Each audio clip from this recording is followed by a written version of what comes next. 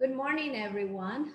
Um, thank you for joining us for another uh, series of um, you know presentation here. And I would like to introduce you to uh, Monica Spiller with the Whole Grain Connection. And I'll let her give you a quick introduction of herself before she digs into the presentation that she has prepared for us uh, that is titled Potential for Whole Wheat Flour Milling in California. Go ahead, Monica, please. Thank you, Claudia. yes, I'm Monica Spiller and I'm with the Whole Grain Connection and the Whole Grain Connection promotes whole grains, especially here in California. And uh, we, one of our projects is to supply seed of heritage varieties of wheat to the farmers in California. And those varieties are appropriate for California. And for the most part, they're grown here and they're used for producing 100% whole grain flour. So let's get started. And uh, you'll notice this is the second part of a present presentation. The title, Potential for Whole Wheat Flour Milling in California. There's not enough of it as yet. So I'd like to describe for you some whole wheat flour mill systems and some marketing considerations. And you'll notice I have the wheat penny as, as a motive here, and wheat penny has wheat on it, emphasizing the importance of that as a crop and as a food, and also the original motto for the United States, a pluribus unum, and I'm interpreting that as we are all in this together. We need producers of whole wheat flour and we need eaters of whole wheat flour. So, why the emphasis on whole wheat flour production and the need for making pleasing whole grain foods? Well, we have epidemic Western diseases here. Those are obesity and hypertension and constipation and colon cancer and diabetes and cardiovascular disease. And all of those can be largely prevented by replacing all basic grain foods with 100% whole grain versions and the protective compounds that prevent these Western diseases are practically all found in the bran and the germ of the whole grain. They are essentially absent from refined wheat flour and other refined grains like uh, polished rice. And it's been recognized that whole grains are an essential part of the so called Mediterranean diet and all the other recommended healthy diets.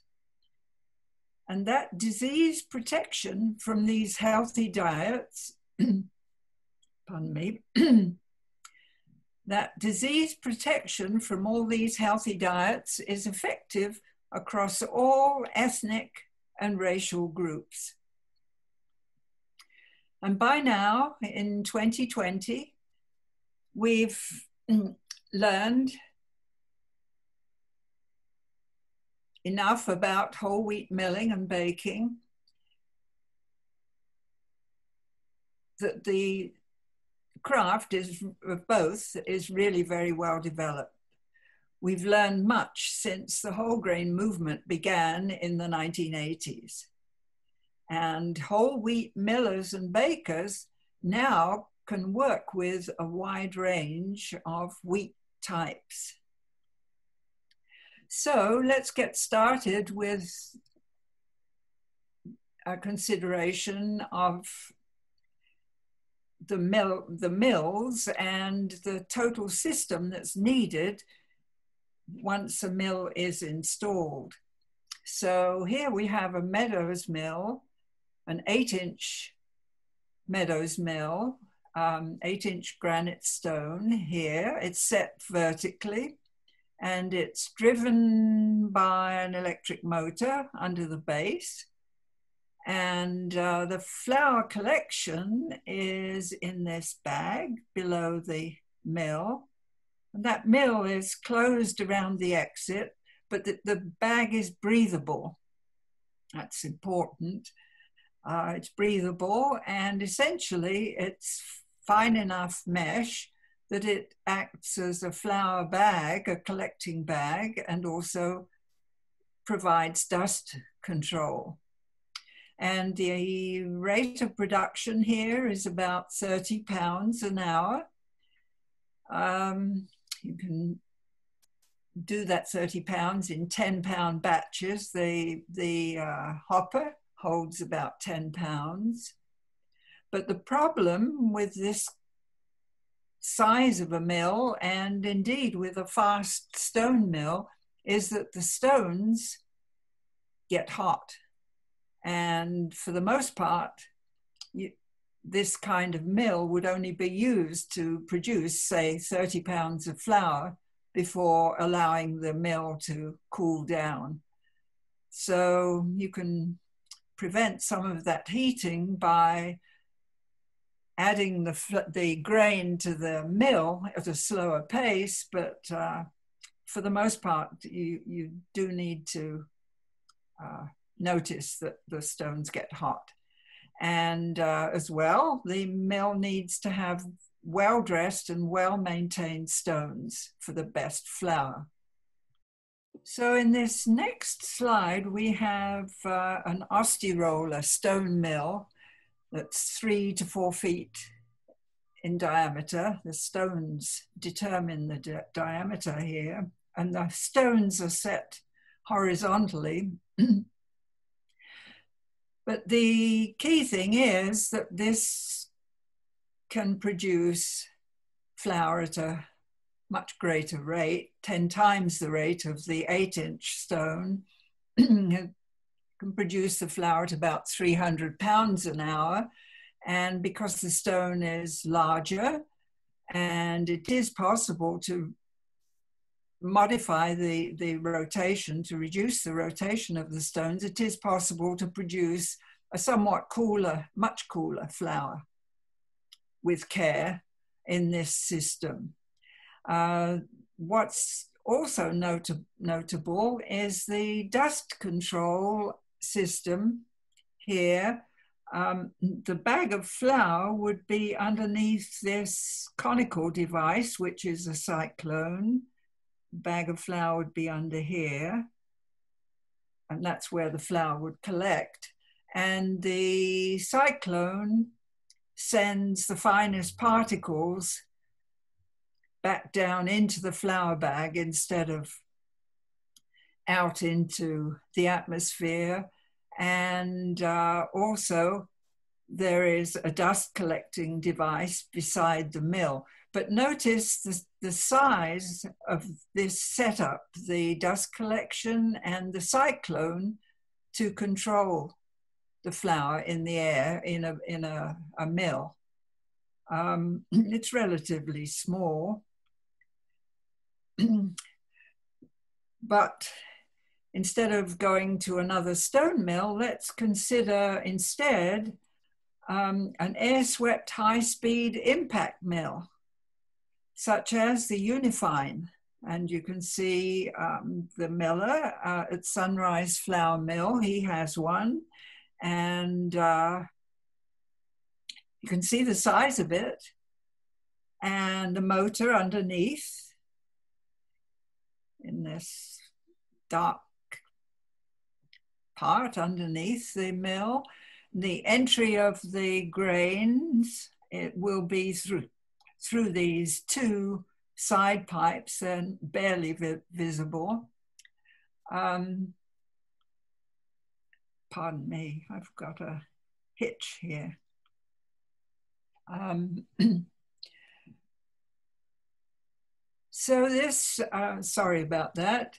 Um, the Unifine mill has a much smaller footprint, but this particular size mill produces 1,200 pounds an hour. That's four times the amount that we were, would produce in that uh, roller.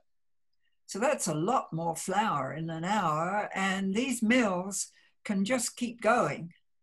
There's no, no need to wait for cool down. And the flour is kept cool because the mechanism involves air flowing very fast through this equipment.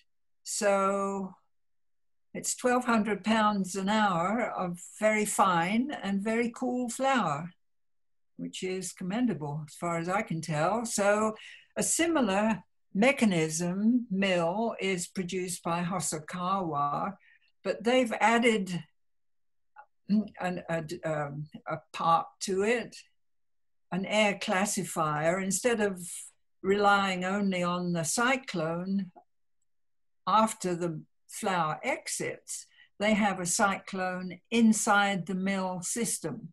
So at the base, there is the flour mill of the same general type as the Unifine, but above it, there's uh, an air classifier, and that throws the larger bran and germ flakes back down into the mill so that they'll be at the right fineness when they exit. And here's the exit, this square boxy thing at the side is part of the exit.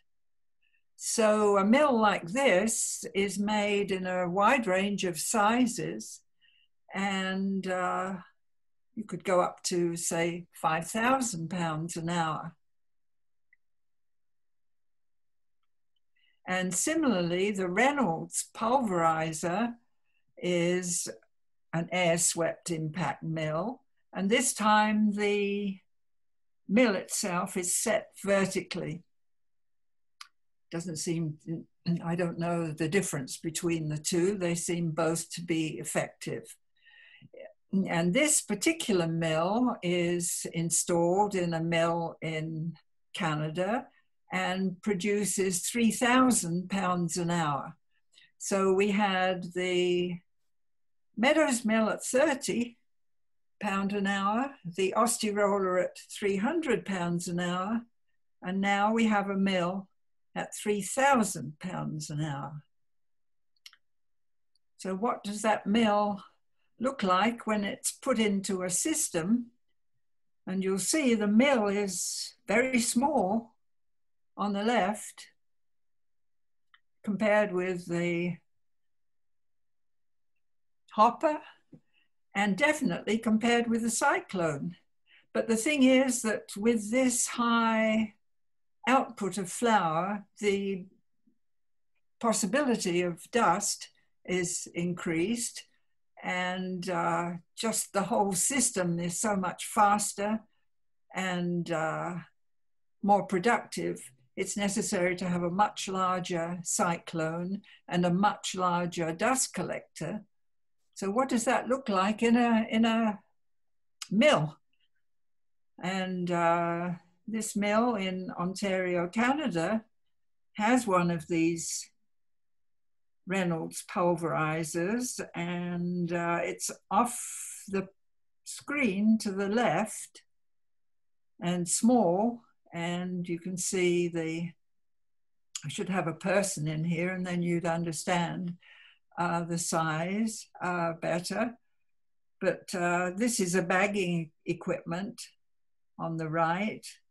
So a 50 pound bag comes out eventually from the from this uh, conveyor. so if we're planning a mill, on a farm and we want to mimic this uh, 3,000 pounds an hour. That's That's nice and fast. It's not too fast, it's about the right speed, I think. Um, you would need to have a high ceiling, about 20 feet. You would need um, plenty of open space to accommodate all that equipment, say up to 5,000 square feet. You would need a solid floor. Moving everything around with a forklift needs a solid floor. Pallets are a ton. So that's a lot of weight on a floor. It needs to be well constructed. And uh, all that equipment needs electricity, so heavy duty electric power needs to be there. And uh, we are doubtless going to want to wash something, have bathrooms, and so on. So, water and plumbing needs to be installed. And it is a noisy system. There's, there's no getting away from it, especially this high speed impact mill is a, is a noisy, sounds like a jet. So it's very, it's very noisy and, uh, but it is possible to isolate that mill in a soundproof room. That's millers do that. Um, and also the building itself needs insulation uh, so that there's a reasonable temperature control in the heat of summer or the cold of winter. And the building needs to be sealed well against pest invasion. And uh, a lot of maneuvering going on, so the entries and exits need to accommodate a forklift and a tall load. These are just, this is just a checklist. And uh, somebody's going to actually do the work of the milling. And truly, the, an operation like this needs to have a professional miller or a, or a professional engineer who can accommodate this um, maintenance and uh, operation of a system like this. Uh, the uh, Canadian mill, uh, Mark in uh, Canada, he is over the moon with enthusiasm for this mill, and uh, he says that the maintenance is easy and fast, so downtime is not not a problem. And uh, so, but still it needs somebody in charge of, a, of an operation like this who has studied the situation and can handle all that equipment and knows about the flour of course. And uh, probably two to three full-time workers. And uh, it's a job to install a mill like that and uh, most farmers are very independent, but uh, in this case, a mill like this um, Reynolds pul- pulverizer or the Unifine mill, um, those mill manufacturers usually have an experienced associate engineer who would design the total system to match the size of that mill. The mill itself, you would probably buy directly from the manufacturer and also have this expertise available, but uh, the cyclone and the dust collecting and uh, the piping, all of that can, of course, be installed by local people. And in fact, you can um, purchase those apart from the mill manufacturer. Uh, so we've considered the actual building for the mill, but uh, truly there's more to it than, than just milling the flour and uh, keeping the dust down we have to consider that the grain needs to be received in there. And so you need an outside area for the trucks that are delivering the grain and uh, possibly you'll need a dock for that for those trucks and uh, as well you'll need a certain amount of grain storage so that you're not waiting for the next truck load of grain and can just keep on milling if you want to, and circumstances favor that. Uh, so, say you might need storage for at least a month, and ideally, you would have enough storage for a year for real food security. Um, so now we have the grain in storage and available. How is it going to get into the mill itself and fed into the mill hopper? And I have three basic possibilities for doing that. A neat one is to take a tote bag, which is the usual delivery form for grain uh, a one ton tote bag can be lifted with a forklift so that it's above the hopper of the mill and it can be fed into the hopper. The hopper usually has an adjustment, adjustment to um, regulate the flow of the grain into the mill. Um, another system for feeding the grain into the mill can be a pneumatic system, a sort of vacuum system and piping. And similarly, an auger can be used to carry the grain into the hopper. And then you have the mill itself, and uh, we have to have a means of collecting the flour away from the mill and uh, ready for bagging, maybe, instead of bagging it absolutely as it comes off the mill. And we've mentioned dust reduction. We need a flour bagging system. Uh, manual flour bagging is okay for one or two bags, but uh, not when you have 3,000 pounds an hour coming and coming out from the mill and available. So a good 50 pound flour bagging system is useful. And uh, where you're going to put those bags, well, you put them on a pallet, probably. And uh, need the indoor forklifts, which of course would need to be electric. Can't have a gasoline powered forklift indoors. Um, and uh, that flour, just before it's distributed, will be on those pallets, and you need space to store them short term until they're distributed. And uh, we're going to distribute the flour to bakeries, so you might want a truck. So, all these things need to be thought of ahead of time because they're expenses and uh, considerations and of course, as we've mentioned before, there are workers actually doing all this primarily in California. The wheat is a commodity crop. And uh, so the commodity wheat growing by larger growers is usually on about um, it's certainly more than 50 acres, it's usually 100 or 200 or even more acres. And it's usually conventional.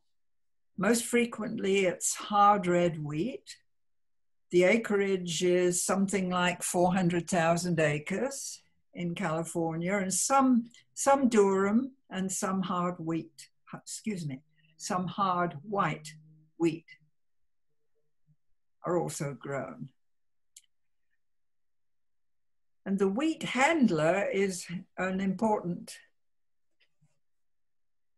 function in this, in this process. The wheat handler is the one who has supplied the seed usually to the farmer And it's usually a modern, short stature, proprietary variety that was developed particularly for conventional agriculture and refined flour milling. And that wheat handler pays the farmer a, the commodity price for wheat that is combine harvested straight out of the field. So the farmer combine harvests that wheat and uh, puts it straight into a truck from the wheat handler and says goodbye to his wheat or their wheat. And uh, they're paid a commodity price and that's it. So the farmer has no stake in their wheat after it leaves the field. And uh, add another consideration the land value is high in California. So wheat production is more expensive than in the Midwest or Canada. And that commodity price is currently often inadequate for the California farmer. It doesn't, doesn't um, make it a very meaningful operation to produce that wheat currently. So the large wheat handlers have a better deal because they receive the wheat, they have the opportunity to clean the wheat, and then they are the ones who actually sell it still somewhat restricted by the commodity prices, but uh, they have added value. They can sell wheat for milling and for seed and for feed. Add another consideration, and you, we used to have a good export market for California grown white wheat and durum, but uh, those markets to Asia have greatly decreased over the last decade or even perhaps two decades. So, where does this wheat go then? Mm, well, there are nine large mills, commodity mills in California, and they, all of them, primarily produce refined flour, and just a very small fraction 6% roughly, as whole grain flour. And it's a recombined whole grain flour because the system produces primarily refined flour, so they have to recombine to get the whole wheat flour. And those large mills currently have no incentives to use California grown wheat. So sometimes the California grown wheat is not even purchased by these large mills. So the result of all this is that uh, California wheat farmers are replacing their large wheat farm wheat fields with almond orchards. Feel that that's a better use for their land monetarily. And uh, the other thing that's happening is that these large growers sell their wheat more profitably as green chop or grain for animal feed.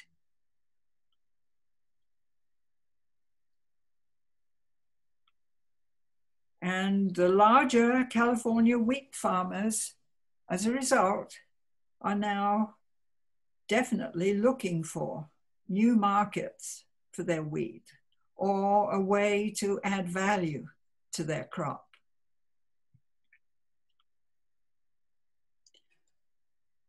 So there is actually a local wheat system,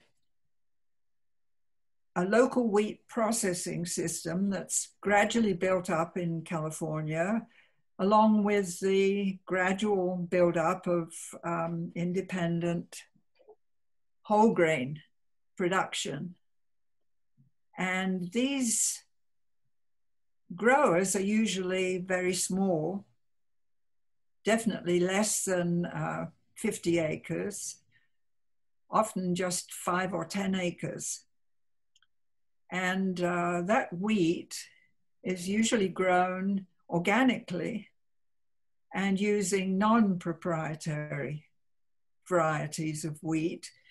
Also for these farmers, wheat is grown as a rotation crop, a rotation cover crop after vegetables in a regenerative agriculture system. And uh, these heritage wheat varieties are chosen so that they are appropriate for the climate in California. They're chosen for the farmer and the climate rather than for a baker's idea. And what's happened is that the bakers have pivoted to making good use of interesting and different varieties of wheat. So to accommodate this very small acreage, there are some very small, small scale grain cleaning facilities and mills on farms primarily. Um, there aren't very many of them, and they are local to the wheat that's being grown. But this system cannot expand and other farmers cannot join in this uh, production of uh, heritage wheat and whole grain end products unless they have access to cleaning and milling. So there's a limitation there so far.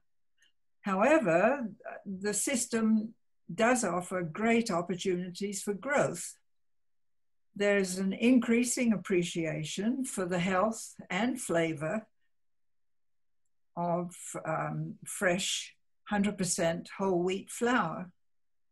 And some farms and bakeries indeed have their own mills to produce 100% whole wheat flours. And some bakeries, not even associated with farms, have their own mills, and those are producing breads in much larger amounts it's very encouraging. And uh, on the small scale, there is a market. Um, the farmers' markets are very well established and popular, and uh, the farms manage community supported agriculture projects or or they can just sell to small mills and bakeries. So imagining this localized system on a much larger scale, how would it compare with the commodity system? Let's make a comparison. Um, for, for starters, um, the grain in the localized system would be stored locally, ready for milling, of course, but it would be stored locally Whereas in the commodity system, the grain is, is uh, converted to refined flour and it's the refined flour that's stored and it's stored centrally. There's no particular effort to have it in smaller amounts locally. In the localized system, the end product goal is whole grain whole grain products and whole grain flour. And the single step whole grain mills are very efficient and they are available. And they're available in, in sizes ranging from kitchen to very large mill, supplying a commercial bakery.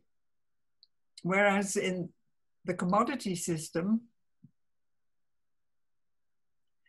The milling process is multi-step, very complex. There's a need to have a, a large mill to make it uh, economical. The whole wheat, the whole wheat flour is a recombination of the parts that have been separated in the refining process. So it's just a large and complex process compared with the easy single step at all levels of size for, for the localized system. And in the localized system, the mills are nearby, and so the whole wheat flour that's produced in a single step is fresh, and so it has the best flavor and it has the best nutritional value. And in the commodity system, that recombined whole wheat flour is produced in such a way that its flavor is compromised and it's rarely fresh because the tendency is to store it as whole grain flour rather than uh, produce it freshly. Uh, so the whole wheat flour can be milled fresh in the localized system and on demand for local bakers, especially, of course, if the mills are themselves localized. So, in the case of the localized system, those stone mills can use all kinds of wheat, whereas in the commodity system, the system was actually designed for hard red wheat of a particular hardness. And so the farmers are limited in the wheat that they can grow and know would be wanted by the commodity mill. And uh, with the localized system, we have the potential to easily supply the entire population with the recommended amounts of whole wheat flour. The recommendation is that at least half of our daily grain foods should be whole grain. I'd say all of the basic foods should be whole grain. It amounts to about the same thing. Uh, take the commodity system, and they have definitely failed to supply the population with this recommended amount of whole wheat flour, despite the knowledge that we need this, that's been available since at least the 1970s, and actually before that. So, in the case of finally, in the case of these local small mills, they would be able to accommodate the small batches that are produced by smaller wheat growers, smaller local wheat growers who are just growing wheat in, as a rotation rather than as um, a major crop. And uh, in the commodity system, there's no way that uh, those small batches can be accommodated. So, localized systems win, as far as I can tell. So, if they do win, how, how are we going to get to that situation of uh, local milling. How many small local mills would we need in California? It's pretty large population in California, 39.5 or whatever million. So that's a lot of people wanting a lot of flour.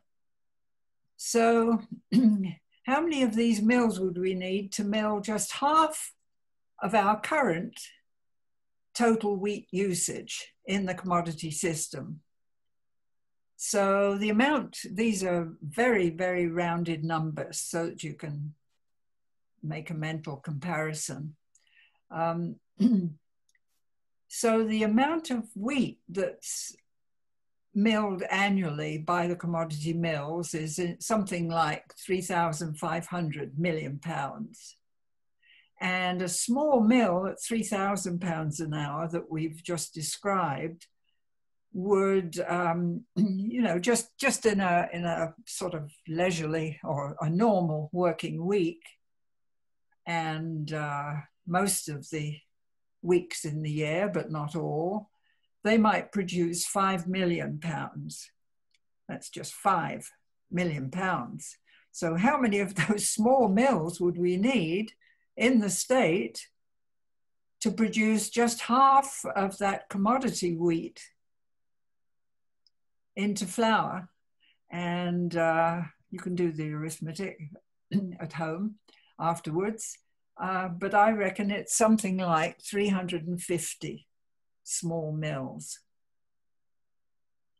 And uh, when you think about it, the actual wheat usage in California is much closer to being 6,000 million pounds. I mean, there's a lot of, uh, there are a lot of cookies and uh, what have you that are in the grocery store that uh, are produced with flour that's not come from a California commodity mill. So that means that most of the wheat that's milled in California could actually be to produce whole grain flour. And uh, if practically all of that 3,500 pounds was milled into whole grain flour, that would pretty much satisfy those dietary recommendations.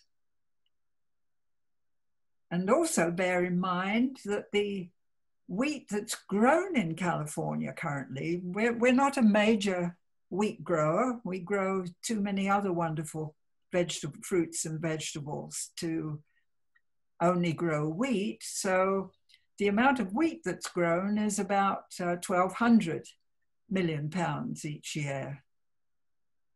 So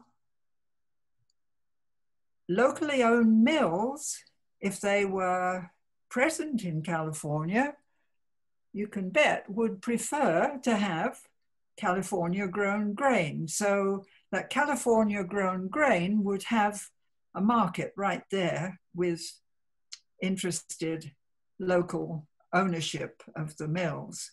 There'd be local job creation to run those mills. And the larger mills, in other words, mills with more than one milling unit at 3,000 pounds an hour, those larger mills, they could contain more milling units and uh, at the opposite end, the very small mills are feasible. So there's a, a wide range of possibility there.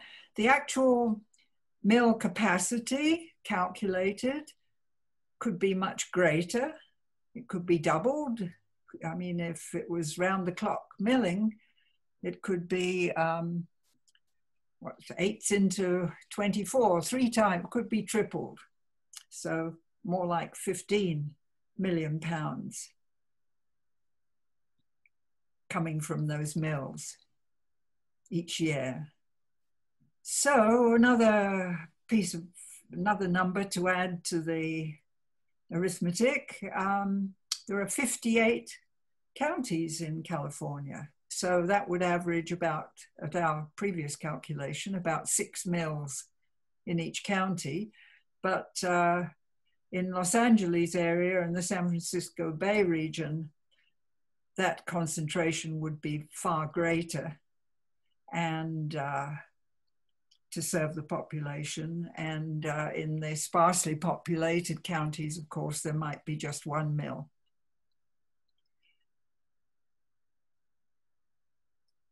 So we've mentioned job creation already uh, higher in the list, um, but it, it's, uh, it involves modern equipment, or even if it involves old-fashioned equipment with modern uh, powering, still the production of flour is a skill. And uh, each mill will need local workers and uh, it will need some skilled workers. So basically, the market, uh, as far as I can see from all of this, is wide open for small whole grain flour mill entrepreneurs. So having decided that uh, a mill is feasible and uh, sustainable, how would we make it sustainable from the very start? Especially knowing the two main problems that, that uh, are being faced right now in considering such a project. The first consideration is that the locally produced grain is still relatively small amount unless you're looking at a commodity farmer who's still um, in the commodity system, a commodity farmer coming out of that system and into this localized system might present a different picture. But for the moment, on the small scale, the localized scale, um, there might not be enough local grain to justify a mill and uh, the staff involved in, in running it. Um, and also, there might be an insufficient initial demand for that flour. After all, people haven't come to terms with having 100% whole grain food as their mainstay. So, how are we going to solve these problems? Well, if um, initially the mill is owned by a group of wheat farmers all wanting to grow more grain, then that mill would certainly have a good source of local wheat. And if they're trying, if the goal is to keep the mill occupied and uh, really supply people with whole grain flour, it is possible to import less expensive wheat from out of state. I can tell you this story that uh, a Canadian farmer called me and said, I'd like to sell my Canadian wheat in California. Are you interested? And I said, Well, um, tell me more. And he said, Well, I've noticed that uh, trucks drive up to Canada full of fruits and vegetables from California, and they're coming back empty to California. I could send my wheat to California in those empty trucks. And uh, it's less expensive than the cost of production for a California wheat farmer and so that wheat could be imported and would supplement the supply for a local mill to make it uh, viable. Of course, the local flour would be preferred, again, because the ownership of that mill would and the interests in that mill would be local. Now, supposing you're also considering this, this uh, very difficult one of insufficient initial demand for the flour, before ever opening that mill, it would be worth working to find bakers and consumers who really want that flour and they're out there. There are people who who really want this 100% whole grain flour especially people who are diabetic and have realized that they need to be eating 100% whole grain foods. They're, they're desperate. They're mostly making their own bread at home, but uh, they would like a, an outside supply. So it is possible to work to find these people who could be a, a solid customer base for the mill. And the other side of this is that uh, baker and consumer education really need to be increased, and uh, that can be part of the effort. And also, in with these kind of um, high-speed impact mills, it's possible to dry other foods, other um, other uh, crops such as chickpeas or other beans. They can be ground to flour and uh, there are people who really want those flours, especially the chickpea flour, for instance, in the Indian market. So, how do we have this way forward? How do we make our way forward um, into this alternative system? I think it's important to realize that that um, people generally have not yet been presented with really good 100% whole wheat products in an amount that suggests that it's worth looking for them. They need to be produced so that the customers can actually experience them. And uh, I have to tell this story of Steve Jobs. The cell phone was a very nice gadget that everybody thought was the ultimate. And Steve Jobs had to actually produce the iPhone, the smartphone, before people could appreciate just how very useful it is. And so it is with these 100% whole grain products. We have to produce them in a delicious form, and we have to produce enough of them, and it will be like the iPhone. Once people really taste those and live with those whole grain products, there's no turning back.